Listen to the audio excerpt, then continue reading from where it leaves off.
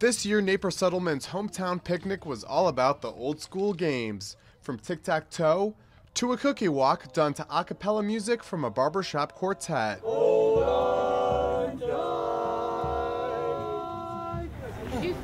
But perhaps the most popular event was the watermelon seed spitting contest.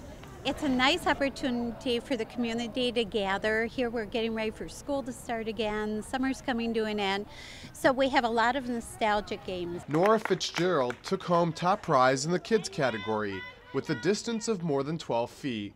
So what was her strategy? I didn't really have one. I just was just determined to get a prize. Even Nora's mom, District 203 board member Kristin Fitzgerald, launched a seat or two in the adult competition. This was the second year for the hometown picnic. If you missed it, don't worry. Organizers say it'll definitely return next year as well. Reporting from Naper Settlement, Kevin Machak, Naperville News 17.